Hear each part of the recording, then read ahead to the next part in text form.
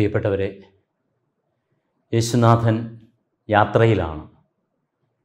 മർക്കോസ് വിശേഷകൻ ശിഷ്യത്വത്തെക്കുറിച്ച് പഠിപ്പിക്കുമ്പോൾ യാത്രയ്ക്ക് നടുവിൽ അവൻ പഠിപ്പിക്കുന്ന കാര്യങ്ങളെക്കുറിച്ചുള്ള വിശകലനങ്ങളും പ്രബോധനങ്ങളുമൊക്കെയാണ് വിഷയം. പത്താമധ്യായം ആറ് മുതൽ രണ്ട് മുതൽ പതിനാറ് വരെയുള്ള വാക്യങ്ങളിലൂടെ കടന്നു പോകുമ്പോൾ യൂതയായിലേക്കും ജോർദനാന്റെ മറുകരയിലേക്കും യാത്ര ചെയ്തു പോകുന്ന ഈശോ ശിഷ്യന്മാരെയും മറ്റുള്ളവരെയും പഠിപ്പിക്കുന്ന പ്രധാനപ്പെട്ട രണ്ട് കാര്യങ്ങളാണ്. വിവാഹത്തെക്കുറിച്ചും വിവാഹത്തിന്റെ ഐക്യത്തെക്കുറിച്ചും. അതോടൊപ്പം ശിശുക്കളെക്കുറിച്ച്.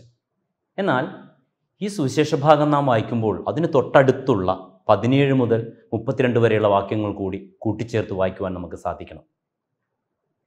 സമ്പത്തിനെക്കുറിച്ചും സമ്പത്ത് എന്തിനു വേണ്ടി എപ്രകാരം ഉപയോഗിക്കണം എന്നുള്ളൊരു ചിന്ത കൂടി ഇവിടെ ചേർത്ത് വയ്ക്കുന്നുണ്ട്. ഒരു മനുഷ്യന്റെ ജീവിത ശൈലി കുടുംബജീവിതമാകാം സന്യാസ പൗരോഹിത്യ ജീവിതങ്ങളാവാം ഏകസ്ഥലമാണ് ഇവയിലൊക്കെ ദൈവീകമായ വെളിപ്പെടുത്തലുകൾ തിരിച്ചറിയുവാൻ അവന് സാധിക്കണം. ഇന്നത്തെ പ്രമേയം വിവാഹവും കുടുംബജീവിതവുമാണ്. വിവാഹവും വിവാഹ മോചനവും ഇതിന്റെ ഭാഗമായി മാറുമ്പോൾ നന്മ പ്രവർത്തിക്കുന്നവന് മറ്റുള്ളവർക്ക് സന്തോഷകരമായ കാര്യങ്ങൾ പറഞ്ഞു കൊടുക്കുന്നവന് ജീവിതത്തിന്റെ അടിസ്ഥാന സ്ഥാപനങ്ങളിലൊന്നായ വിവാഹത്തെക്കുറിച്ച് പഠിപ്പിക്കുമ്പോൾ സമൂഹത്തിലുള്ള ചില പ്രത്യേക സ്വഭാവക്കാരുണ്ടതിൽ. ഫരിസെയർ അത്തരത്തിലുള്ള ഒന്നാണ്. വിവാഹത്തിനും കുടുംബജീവിതത്തിനും മക്കൾക്കുമൊക്കെ വലിയ പ്രാധാന്യമൊന്നും കൊടുക്കാത്ത ഒരു സംസ്കാരത്തിലേക്ക് നാം സാവധാനം വളരുകയാണ്. ഇവിടെയാണ് ഫരിസേയരുടെ കെണിവയ്പ് നടക്കുന്നത്. ഇതിനെക്കുറിച്ചൊക്കെ നന്മയോടെ സംസാരിക്കുന്ന യേശുവിനെ എപ്രകാരം ഒന്ന് കെണിവെച്ച് എപ്രകാരം അവനെ മോശമായി ചിത്രീകരിക്കാം. സുവിശേഷം ഇതിനെക്കുറിച്ച് പറയുമ്പോൾ നാം നമ്മുടെ നാടിനോടൊപ്പം നാടിന്റെ ഇന്നത്തെ സംസ്കാരത്തോടൊപ്പം ചേർത്ത് വായിക്കു വെച്ച് വായിക്കുവാൻ നമുക്ക് സാധിക്കണം. സർവകാര്യങ്ങളിലും ഒന്നാമതായി എത്തുവാനായി പരിശ്രമിക്കുന്ന പലതിലും ഒന്നാമതായി നിൽക്കുന്ന നമ്മുടെ ഈ കേരളത്തിൽ പുതിയ ഒരു പേരുണ്ട് നമ്മളുടെ ഈ നാടിന്. ദ ക്യാപിറ്റൽ ഓഫ് ഡിവോഴ്സസ് വിവാഹ മോചനങ്ങളുടെ തലസ്ഥാനം. ഇക്കഴിഞ്ഞ രണ്ടായിരത്തി ഇരുപത് ജനുവരിയിലെ മാത്രം കണക്കെടുത്താൽ ഇരുന്നൂറ്റി ഇരുപത്തി ആറ് വിവാഹമോചന കേസുകളാണ് കുടുംബ കോടതിയിൽ ഫയൽ ചെയ്തിരിക്കുന്നത്. ഈ ദിനങ്ങളിൽ സംഭവിക്കുന്ന മറ്റ് സംഭവിക്കുവാൻ പോകുന്ന മറ്റൊരു കാര്യം കൂടിയുണ്ട്. എറണാകുളത്തെ കുടുംബ കോടതിയിൽ അത്രയും കേസുകൾ കുന്നുകൂടിയതുകൊണ്ട് ഈ വരുന്ന ദിനങ്ങളിൽ പറവൂർ കോടതിയിലും ആലുവയിലും പുതിയ രണ്ടെണ്ണം കൂടി തുടങ്ങുകയാണ്. ഇത്തരണത്തിൽ ഈ ഒരു സാഹചര്യത്തിൽ നിന്നുകൊണ്ട് വേണം വിവാഹത്തെക്കുറിച്ചും വിവാഹമോചനത്തെക്കുറിച്ചുമൊക്കെ നാം ഒന്ന് ചിന്തിക്കുവാനായിട്ട്. കത്തോലിക്ക വിശ്വാസത്തിന്റെ അടിസ്ഥാനപരമായ കാര്യങ്ങളിലൊന്നായി കുടുംബജീവിതത്തെ വിവാഹമെന്ന കൂതാശയെ നാം കാണുമ്പോൾ വിവാഹമോചനങ്ങളുടെ ഏറ്റവും പ്രധാനപ്പെട്ട ഒരിടമായി നമ്മുടെ ഈ നാട് സാവധാനത്തിൽ വളരുമ്പോൾ നിഷേധാത്മകമാണ് തീർച്ചയായിട്ടും. എപ്രകാരം ഈ ഒരു സുവിശേഷ ഭാഗത്തെ നമുക്ക് കണ്ടെത്തുവാൻ സാധിക്കും? നമ്മുടെ ജീവിതവുമായി ബന്ധപ്പെടുത്തുവാൻ സാധിക്കും.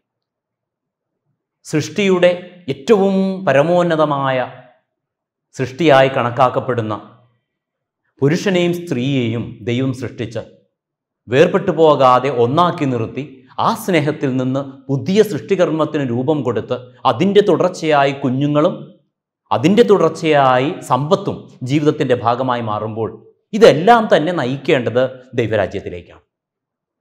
ലക്ഷ്യം വയ്ക്കുന്നത് മുഴുവൻ ദൈവരാജ്യത്തിലേക്കാണ്.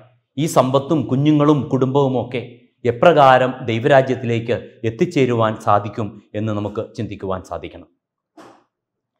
ഈ കെണിവയ്ക്കുന്ന ഈ ഒരു കൂട്ടർ യേശുവിന്റെ മുൻപിൽ ഈ ഒരു ചോദ്യമായി വരുമ്പോൾ ഇതിന്റെ പശ്ചാത്തലം നാം ഒന്ന് തിരിച്ചറിയും സ്നാപകയോഹന്നാൻ ജയിലിലാണ് കാരണം. ഹെറോദേസ് മോശയുടെ നിയമങ്ങൾക്ക് വിരുദ്ധമായിട്ട് തന്റെ സഹോദര ഭാര്യയെ വിവാഹം കഴിച്ച് ജീവിക്കുമ്പോൾ അതിനെതിരെ ശബ്ദിച്ച സ്നാപകനെ ജയിലിലടച്ച ഈ ഒരു അവസ്ഥയിലേക്കാണ് ഇത് വിരൽ ചൂണ്ടുന്നത്. പശ്ചാത്തലം വളരെ കൃത്യമാണ്. നന്മയും സത്യവും സംസാരിച്ചവൻ മറ്റൊരുവൻ ചെയ്തത് ശരിയല്ല എന്ന് കൃത്യമായി അവന്റെ മുഖത്ത് നോക്കി പറഞ്ഞപ്പോൾ അവനെ പിടിച്ച് ജയിലിലടച്ച ഒരു സമൂഹത്തിന്റെ പിന്നാമ്പുറങ്ങളിൽ നിന്നുകൊണ്ടാണ് ഈ സുവിശേഷ ഭാഗം നാം മനസ്സിലാക്കേണ്ടത്. ഇവിടെയാണ് ഈ ചോദ്യം വരുന്നത്. ഒരുവൻ തന്റെ ഭാര്യയെ ഉപേക്ഷിക്കുന്നത് ശരിയാണോ അല്ലയോ നിയമാനുസൃതമാണോ? യഹൂദ പഠനങ്ങളെടുത്ത് പരിശോധിക്കുമ്പോൾ പറഞ്ഞു വയ്ക്കുന്നൊരു കാര്യമുണ്ട്. കിദുഷിൻ എന്നൊരു വാക്കാണ് യഹൂദർ ഉപയോഗിക്കുന്നത്. പുരുഷനും സ്ത്രീയും തങ്ങളെ തന്നെ പരസ്പരം കൂടെയുള്ളയാളിനു വേണ്ടി സമർപ്പിക്കുക. ഇതാണ് ഇതിന്റെ ചുരുക്കം. നമുക്കിന്ന് മനസ്സിലാക്കുവാൻ ശ്രമിച്ചാൽ നമ്മളുടെ കത്തോലിക്ക വിശ്വാസമനുസരിച്ച് വിവാഹത്തിലൂടെ ഓരോ വ്യക്തിയും തന്റെ കൂടെയുള്ളയാളോട് പറയുന്ന ദൈവത്തിന്റെയും ദൈവജനത്തിന്റെയും അൾത്താരയുടെയും പുരോഹിതന്റെയും മുൻപിൽ നിന്നുകൊണ്ട് അവർ കൊടുക്കുന്ന വാക്കിതാണ്. ഒന്ന് കൂട്ടി സംയോജിപ്പിച്ച് ഒന്ന് കേൾക്കുവാനും ശ്രദ്ധിക്കുവാനും ശ്രമിച്ചാൽ എന്നെ ഞാൻ പൂർണമായി നിനക്ക് നൽകുകയാണ്. എന്റെ ജീവിതത്തിൽ എന്തും ചെയ്യുവാനുള്ള സ്വാതന്ത്ര്യം ഞാൻ നിനക്ക് നൽകുകയാണ്. എന്നെ കൊല്ലുവാൻ വേണ്ടുന്നത്രയും സ്വാതന്ത്ര്യം ഞാൻ നിനക്ക് നൽകുകയാണ്. പക്ഷേ എനിക്കറിയാം നീ എന്നെ ഒന്ന് ഉപദ്രവിക്കുക പോലുമില്ല. കാരണം നിനക്കെന്നെ അത്രയ്ക്കും ഇഷ്ടമാണ്. ഇതാണ് വിവാഹം. ഇതൊരു കൂതാശയാണ് നമുക്കറിയാം. അടയാളമായി സൃഷ്ടികർമ്മത്തിന്റെ ദൈവരാജ്യത്തിന്റെ അടയാളമായി നമ്മുടെ മുൻപിൽ ഇത് അവതരിപ്പിക്കപ്പെടുമ്പോൾ കുടുംബത്തിന്റെ നന്മ തിരിച്ചറിയുവാൻ നമുക്ക് സാധിക്കണം. യഹൂദർ അഭിമാർ വിവാഹമോചനത്തെക്കുറിച്ച് പഠിപ്പിക്കുമ്പോൾ പറയുന്നൊരു കാര്യമുണ്ട്. ഒരുവൻ തന്റെ ഭാര്യയെ ഉപേക്ഷിക്കുമ്പോൾ എവിടെ വെച്ചാണോ ഏത് ദൈവാലയത്തിൽ വെച്ചാണോ ഈ വിവാഹം നടന്നത് ആ ദൈവാലയത്തിലെ അൾത്താര കണ്ണീർ പൊഴിക്കുന്നു അത്രേ മനോഹരമായ എന്നാൽ അതോടൊപ്പം തന്നെ ഓരോ കുടുംബത്തിലും സംഭവിക്കുന്ന ഇപ്പറയുന്ന വിവാഹമോചനങ്ങളുടെ ഉള്ളിൽ നിന്നുകൊണ്ട് ഇതിനെ കാണുമ്പോൾ ദൈവം പോലും കരയുന്ന ഒരവസ്ഥയാണിത്. എപ്രകാരം ഇതിനെ നന്മയോടെ കാണുവാൻ നമുക്ക് സാധിക്കും? മോശ വിവാഹമോചനത്തെക്കുറിച്ച് സംസാരിക്കുമ്പോൾ പറയുന്നത് ശരിയല്ലാത്ത ഒരു കാര്യം ജീവിത പങ്കാളി ചെയ്താൽ അവളെ ഉപേക്ഷിക്കാം.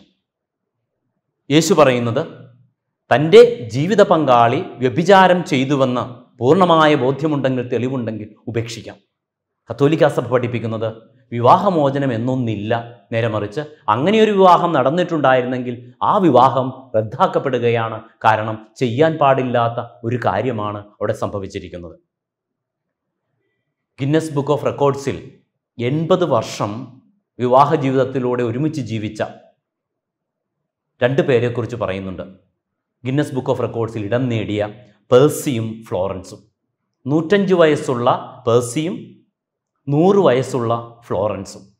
ഫ്ലോറൻസിനോട് ചോദിക്കുന്ന ചോദ്യം ഇതാണ് ഇപ്രകാരം ഈ ഒരു എൺപത് വർഷം നിങ്ങൾക്ക് എപ്രകാരം ഒരുമിച്ച് ജീവിക്കുവാൻ സാധിച്ചു? ഇതിന് നിങ്ങൾക്ക് മറ്റുള്ളവർക്ക് കൊടുക്കുവാൻ സാധിക്കുന്ന ഒരു ഉപദേശം എന്താണ്? അവിടെ ഇത്രമേ പറയുന്നുള്ളൂ. ഒരിക്കലും തല്ലുപിടിച്ച് വഴക്കിട്ട് ഉറങ്ങാൻ പോകാതിരിക്കുക.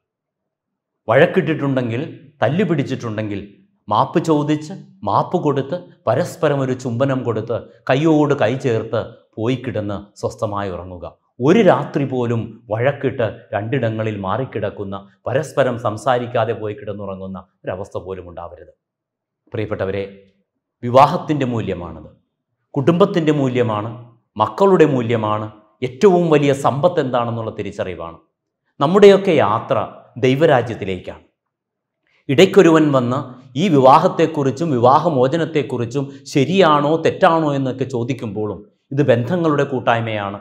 ഒരുവൻ തന്റെ ജീവിത പങ്കാളിക്ക് തന്റെ ജീവിതത്തിൽ കൊടുക്കുന്ന സ്ഥാനത്തിന്റെ ആകത്തുകയാണ്.